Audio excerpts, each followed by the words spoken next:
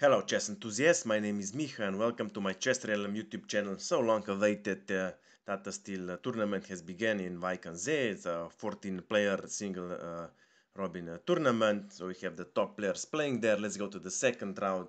Duel between Magnus Carlsen and Anish Giri. Let's see what happened. Magnus Carlsen had white pieces and he started with d4, knight to f6, c4, e6, knight to uh, f3, d5, and now g3, and it already smells like Catalan defense. So yeah, bishop to e7, bishop to g2, uh, black castles king side, and uh, white also, more or less according to the theory. And now the theory also suggests that uh, uh, black should capture this pawn on c4 uh, which is actually the most popular option and so the pawn captures on c4 now there are many ways to retrieve this pawn for example queen to c2 or queen to a4 or maybe even knight to e5 those are uh, the most popular options but white has decided to play knight to a3 uh, getting his another knight into the game well if Knight manages to arrive at the c4. White's pieces are very well placed, so black is already uh, worse off from strategically point of view. So white is literally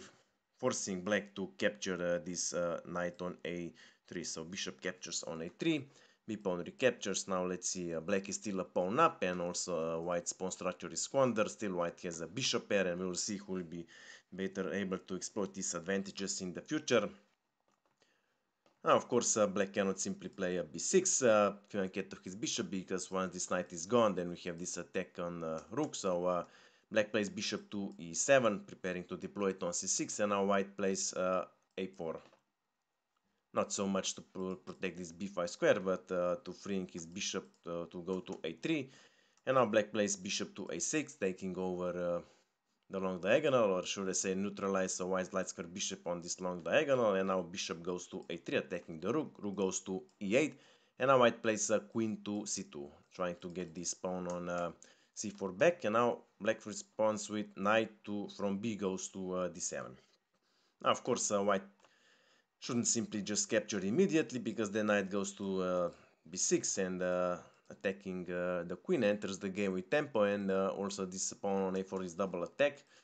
So first uh, white plays rook goes to c8 putting some pressure on the sorry c1 putting some pressure on this c7 square and now black plays a6 preparing this b5 pawn push well if white allows this, for example, king to h1, then after b5, white is forced to capture, and after uh, pawn captures, of course, bishop is under attack and cannot go here on uh, b2 because uh, pawn on a2 is still under attack. So after maybe uh, bishop to b4, then rook goes to a4, even if white uh, defends, then knight goes to uh, e5. Sorry, d5, black has redeployed his pieces with a pawn up here. black is much better, if not totally winning. So in the game, white finally captures this pawn on uh, c4. And now black plays uh, knight goes to b6, attacking both queen and this uh, pawn on uh, a4, who is double attacked, so there's no point in defending it. So first white plays queen to c3, and now black has two ways of capturing this pawn on a4, but, but if bishop captures this pawn on a4, then uh, this uh, pawn on c7 is double attack. So black captures pawn on a4 with uh, knight and now white plays queen to b3. Of course preparing uh, rook to uh, c6 and later grabbing this uh, uh, knight on a4 thus gaining two light pieces and then white would have a bishop pair for rook and would be much better. Maybe the best option here would be simply retreating knight back to b6 but black has decided to play queen to d5 protecting this bishop on c6 so that can queen later protect this uh, knight on uh, a4 but now here comes a spectacular exchange sacrifice almost clairvoyant indeed. Now rook captures on c6 well of course uh, black cannot capture queen because after pawn recaptures uh, even if black recaptures rook then this pawn captures uh, uh, knight. And again we have two bishops versus rook which is winning for white. So black has no other options but to recapture with uh, queen still protecting the knight. And now uh, white plays knight goes to uh, e5 attack on the queen so white gains another tempo and now uh, queen goes to uh, b5 of course uh, white shouldn't capture because black recaptures solidifies his position and is already better. So white plays uh, queen to c2 taking this uh, pawn on c7 Well, here black should relieve the queen from uh, guarding uh, this uh, knight on a4, maybe knight to b6, later deploying to uh, d5 would be a totally solid option. Instead, however, black plays knight from f goes to uh, e5. And now white responds with uh, rook goes to b1, attacking the queen. Well, those two squares are protected, so if queen wants to still defend knight on a4, has no other option but to go to a5, and this is what happened in the game and now uh, white plays bishop captures uh, knight on d5 now there are two ways of recapturing. Still queen has to protect this knight but anyway it would be better if black would capture uh, bishop here on uh, d5 even if white recapture then black would probably uh, drive away this uh, knight on a very strong outpost. Later maybe trying to grab this defensive pawn on a2 have to keep in mind black still has a lot of pawns on the queen side, so it's not like it's uh, a lone rook versus two pieces. Still in the game, black captures bishop with pawn. Another uh, in a series of uh, inaccuracies, now rook captures uh, this pawn on b7 and is already in on the 7th uh, rank. Well, white also threatens uh, bishop to b5, if bishop, sorry, b4, if bishop at b4, this queen is trapped. Well, black should probably try with maybe uh, knight to c3 even if uh, white plays bishop to b4 double attack then uh, queen captures even if queen then recaptures. Still black has some counter action here on the queen side. Instead in the game black plays c5 pre preventing this uh, bishop to b4 well well white cannot simply capture on c5 because then uh, knight recaptures and we have attack on the rook and also on the bishop. And you have to keep in mind that uh, also knight on e5 is under attack. Still, this c5 pawn push literally opens this uh, 7th rank for uh, white rook, so white plays queen to uh, f5, targeting this uh, pawn on uh, f7. There's no point in playing f6 because queen goes to d7 is going to be made in a couple of moves. There's nothing uh, black can do about it.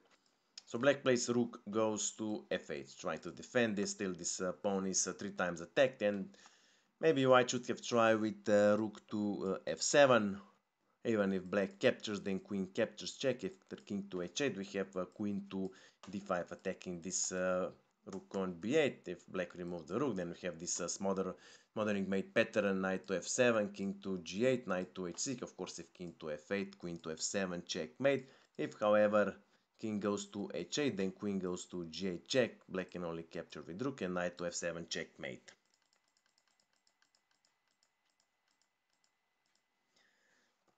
In the game, however, white decided to capture with knight. Now let's see. You might think that uh, black can try to gain a pawn with the queen to e1 check. Well, then king goes to g2, even if queen captures. Then we have this uh, queen to d5 preparing the discover attack on the king. Even if black tries to provide some escape hatch, for example h5, then we have knight to g5 check. King can only go to h8 and then uh, rook goes to uh, f7. Naturally, black cannot capture because then we have queen to a8 and it's going to be made in a couple of moves. Or maybe even after, I don't know, queen to d3, white would probably play uh, rook to uh, f3. Again, the rook still shouldn't capture it, uh, so I don't know. Maybe after queen to g6, then we have uh, knight to f7 uh, check. After uh, king maybe to h7, rook to f5. This pawn is going to be captured. Even if black returns the exchange, rook to f7, then we have a rook to h5 check after king to g8 again winning this rook and white has a decisive advantage. Okay, let's go back to our game. In the game, black plays queen to uh, d8, of course offering queen, but if uh, knight captures, then rook captures queen, queens are gone, and black releases the pressure. So first white plays uh, d pawn captures on uh, uh, c5, of course, uh, pre prevent preparing the discover attack on the rook, so uh, black plays queen to f6 trying to exchange uh, queens avoiding further mating threats and uh, white agrees so queen captures on f6 g pawn recaptures and now knight goes to uh, h6 check now king goes to h8 because there aren't any other squares and now white plays c6 preparing to uh, promote this uh, c pawn. So black plays uh, rook from f goes to c8, attacking, and now uh, white plays c7. Of course, the other rook cannot help it. So uh, black plays uh, knight to c3 trying with uh, knight to b5 uh, gaining this pawn and white responds with bishop to uh, b2 now of course black cannot play knight to b5 because that's uh, that because after that is bishop to f6 checkmate. So black plays d4 defending this uh, knight on c3 and now white plays knight goes to uh, f7 check king goes to g7 and now knight to e6 attacking this rook. The end is near. Black plays uh, king goes to g6 but before capturing the rook uh, white plays uh, king to f1 trying to protect this uh, pawn on uh, e2 and now uh, black plays knight goes to b5 and white responds with knight captures rook rook recaptures. And now a4 driving this knight away. Knight captures on c7 but now bishop captures pawn on d4 with two pawns down black is lost in the game. There followed knight goes to uh, e6 and now bishop goes back to e3 let's see what black can do. Well not much even if rook tries to uh, take this pawn. White simply plays a5 and uh, white is totally fine with two pawns up. This is winning for white.